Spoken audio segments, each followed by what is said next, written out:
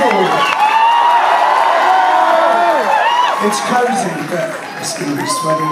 It's going to be fun. We've got a, we've got a shed load of music for you. So uh, let's start by, we'll go right back in time. Yeah?